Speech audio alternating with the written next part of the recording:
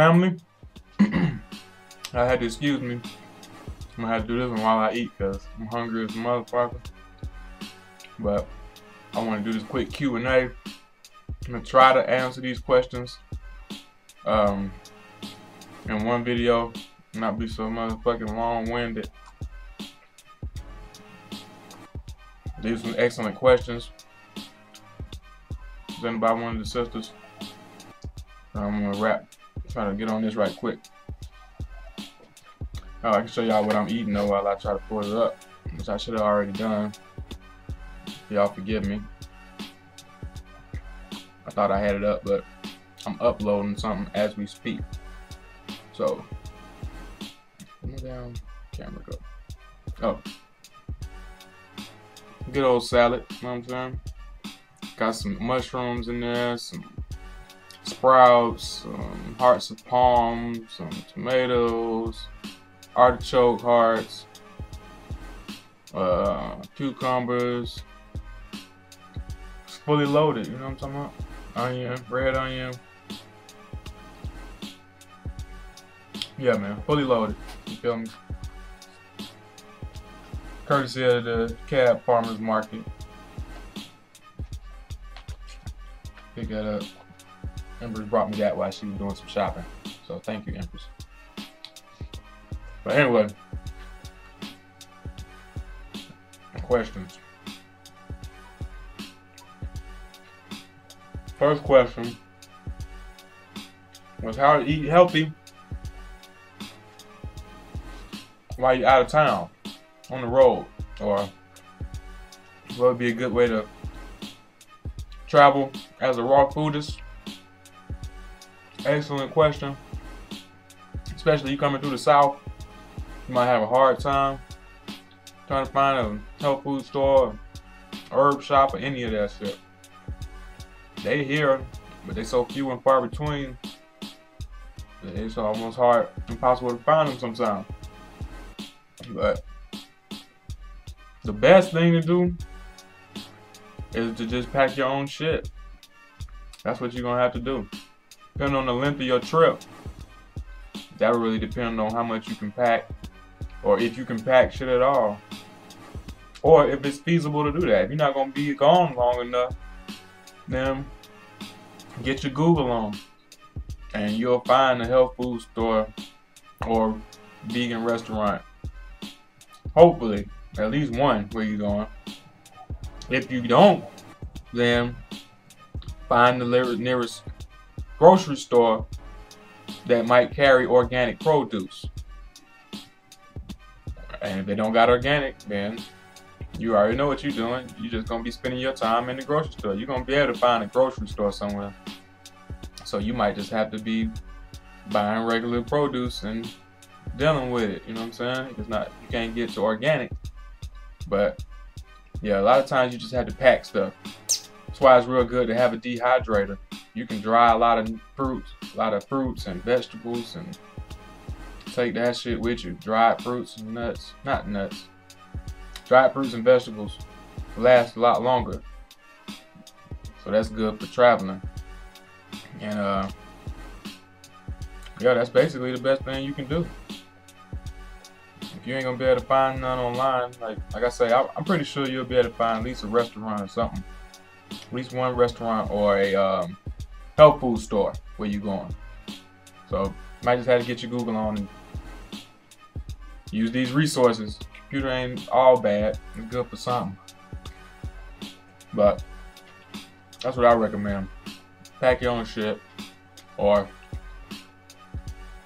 do some searching. Next question. Exercise. Do you think exercise is just as important as eating healthy? Excellent question again. If so, to what degree? Second part of the question. I think exercise is equally as important. But not to the point where you are obsessed with exercise.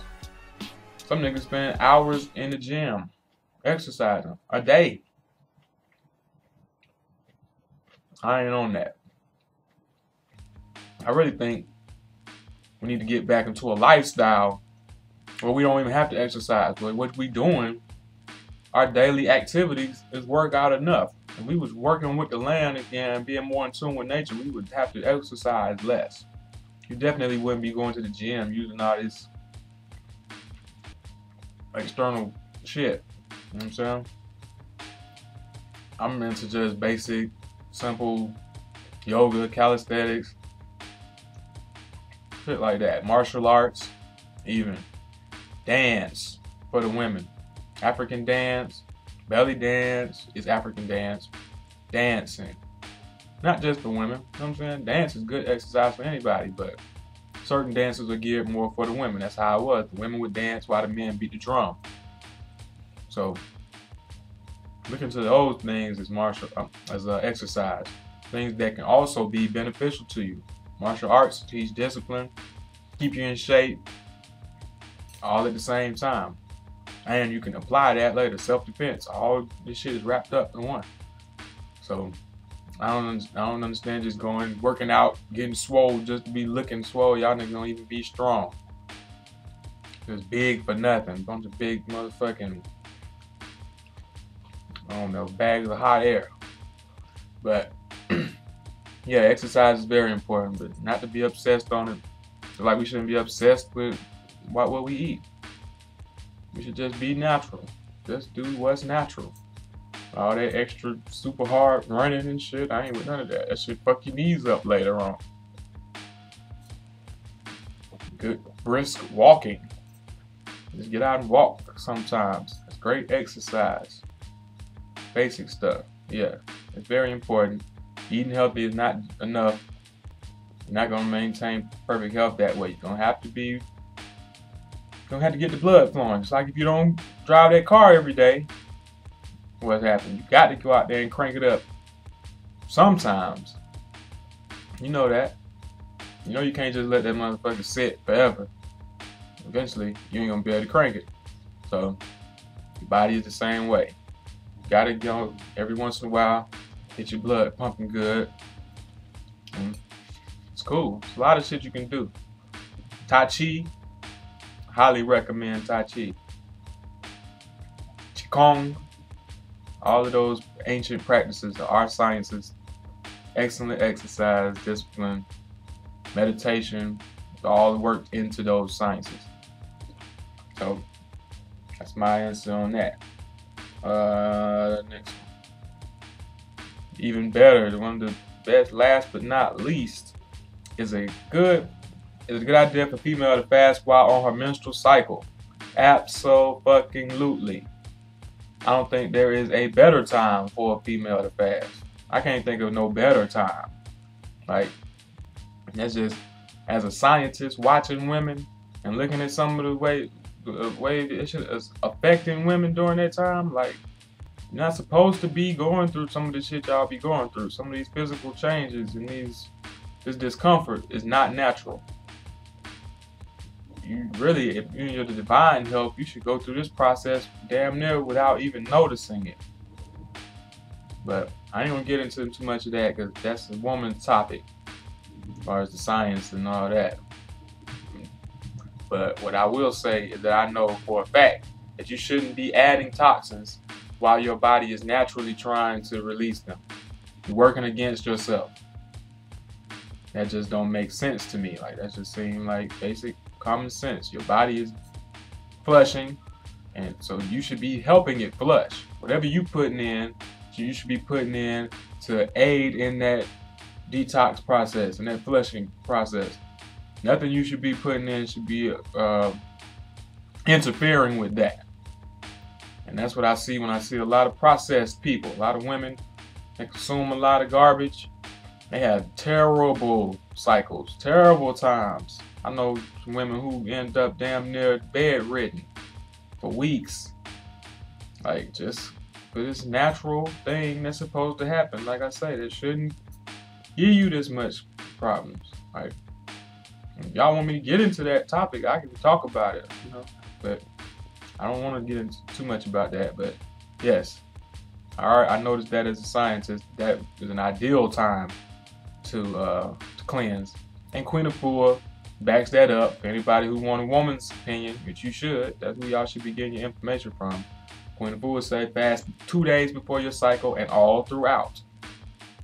So I say that week before or two weeks before, because your body give you warnings and signals, so you should be aware of when that's when it's coming. So that's your time to prepare. If you're not aware of your warnings and signals, then start to know yourself. And uh, you know, when you feel that, because start preparing for your fast and start your fast a few days before and continue it on until it's over. Right. Water, juice, and tea. I think that's the best fast for that time. Just to help yourself flush and detox. Also, while I'm on the topic, some other good times to fast are um, during your birthday month, your birthright, Earth Day, on your Earth Day, and all during that month is an excellent time to fast while the universe is opened up to you. You and you alone, your specific time zone, your zero time reference, your own calendar and clock all started for you uh, at that moment. And if you align yourself back up with that time, with your time, then you'll see things start to happen. You can predict things better in your life and you know yeah that's another science but we throw it off because we following somebody else's time so fast during that time your time it's your holy day that's what queen Afua said so um yeah birthright seasonal changes during the seasonal changes during spring like a week before spring start getting ready faster to prevent those diseases. You don't want to catch colds and all that. Something I need to be practicing more often. I don't not as sensitive to the season changes I should be, but that's an excellent time to be faster. And um, just for clarity and for peace and to open up pathways. Queen Afua say, if you're having some blockages and some things not working right in your life, fast to purify so you can allow some things in. Fasting is for is a sacrifice. And I'll probably do another video on fasting just to get into more depth, but that's part of the science too, to give something up, to sacrifice something so that you can receive something else. What are you willing to give? What are you willing to sacrifice? Are you willing to give up your favorite food, your drink, your drug of choice, whatever it is, to receive something greater. So that's part of the discipline. Sacrifice something. So I hope that answers the questions. If any more, you know, I'm here at your service. And take care of yourselves. Be healthy. Peace.